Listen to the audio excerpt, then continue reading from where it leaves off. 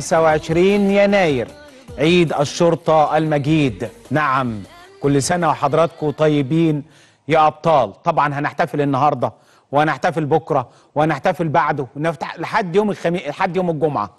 يعني معانا احتفالات من هنا لحد يوم الجمعة 25 يناير. بكرة طبعا الاحتفال السيد الرئيس غدا.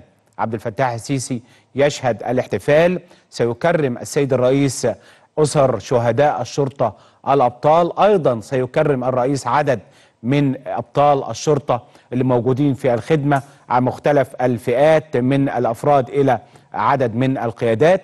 سيلقي السيد الرئيس غدا كلمة أيضا إلى الأمة في هذه المناسبة الوطنية وهذا العيد الذي تحتفل به مصر سنويا منذ عام 52 عندما قام رجال الشرطة في الإسماعيلية واستشهد عدد كبير من رجال الشرطة ورفضوا أن يستسلموا لقوات الاحتلال الإنجليزي ودافعوا عن المدينة الباسلة ودافعوا عن مديرية الأمن ودافعوا عن المواقع بتاعتهم ورفض رجال الشرطة الاستسلام ومنذ هذا التاريخ أصبح 25 يناير هو عيد الشرطة.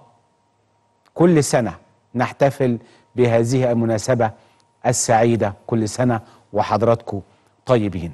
حاولوا في 25 يناير و28 يناير يطمسوا هذا التاريخ.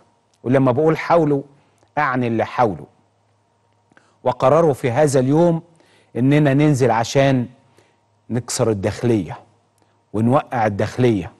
ويا ريتها كانت الداخلية وبس. ده هم كانوا عايزين يكسروا البلد ويدمروا البلد. وحاولوا. والداخلية رجعت الحمد لله.